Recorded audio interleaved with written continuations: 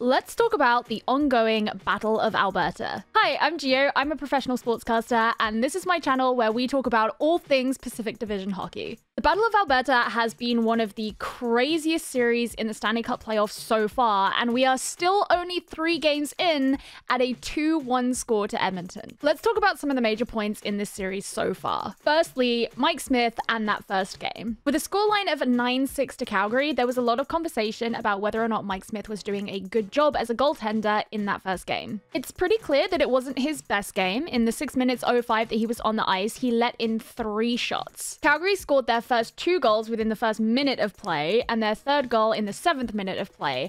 And I think something really important to consider here is what kind of a mental toll that is going to have potentially on the opposing team. It's one thing to blame the goaltender for just doing a terrible job, but another thing to understand that having such an aggressive onslaught at the start of the game can really throw off your expectations for what the pacing of that game is going to be, and that can have quite a mental effect on the opposing team. Calgary were doing an awesome job at capitalizing on these rushes that they were starting and really supporting each other to use the space that had been opened up for them. They also did a really great job at denying basically any meaningful puck control from Edmonton when the play was in the Calgary zone, and they did a great job of actually moving the play back over to the Edmonton zone pretty much each time it got there. Also, going back to the topic of Mike Smith, he was able to save the first shot that was opened up onto him in game number two even though the first Calgary goal then came just a couple of minutes later. Game 2 was such an interesting game in and of itself because Calgary opened up with such early dominance that seemed to wane after the first period. Edmonton were the only team who were able to get a goal on a penalty kill,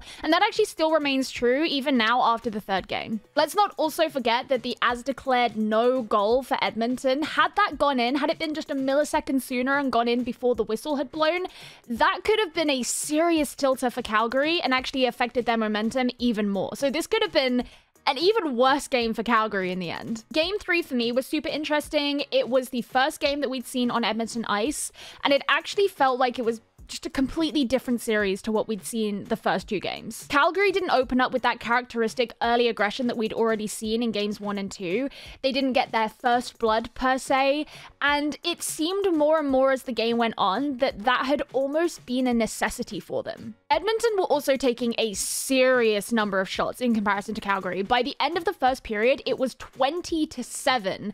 By the end of the game, ultimately, it had evened out a little more at 41 to 32, but that's still quite a difference. And this definitely wasn't helped by the fact that anytime the play was in the Edmonton zone, it looked really messy. Like there was never any real time for Calgary to capitalize on that puck control because it was taken off of them so quickly, which is very different to how things felt in game one. So Mike Smith didn't even have to contend with the puck anywhere near as much as he did back in the first game. I mean, the number of shots that Calgary took against Mike Smith in those 6 minutes 05 seconds of game number 1 is the same number of shots that Calgary took in their entirety in the first period of game 3. And overall, Calgary took 16 fewer shots in this entire game than they did in game number one. Edmonton had a lot of odd man rushes and some really beautiful assists as a result.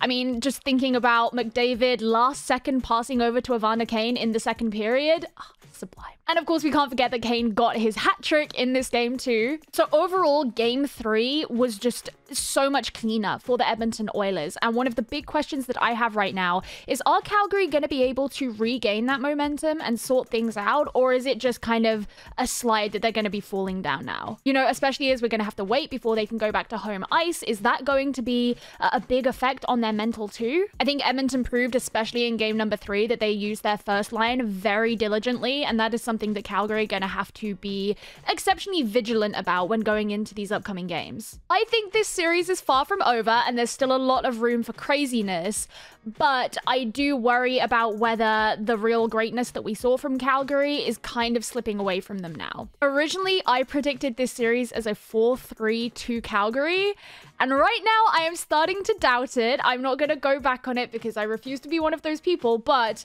I am I'm doubting it a little bit. I'm very curious what you guys think though. So let me know in the comments how you think that this series is going to end, what you see happening coming up in this series because so far it has been such a huge source of entertainment and I've absolutely loved every second. So thank you guys so much for watching and I will catch you in the next video. Goodbye.